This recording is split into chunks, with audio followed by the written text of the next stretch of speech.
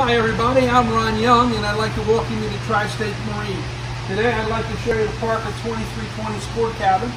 This one is Horizon Blue. The boat is 23 feet from its stern to the bow, but from the bow pulpit to the back of the engine, she's 30 feet 9 inches. She sports an 8 foot 6 inch beam. This is legally trailable in all 48 states. The boat carries 137 gallons of fuel and her total weight loaded is about 5,600 pounds. With a 225 horsepower four-stroke Yamaha engine, she's capable of speeds around 40, 41 mile an hour on the top end and a nice cruise in the 26 to 27 miles an hour while not breaking the bank of your pocketbook. We have a convenient walk-through transom door coming from the large swim platform.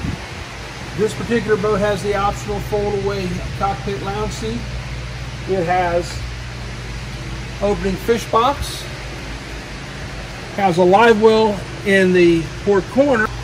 It also has the optional second steering station. Second steering station makes it great for troll fishing, working a trot line for those to crab, or even when you're out entertaining other guests, you can be out in the cockpit with the party.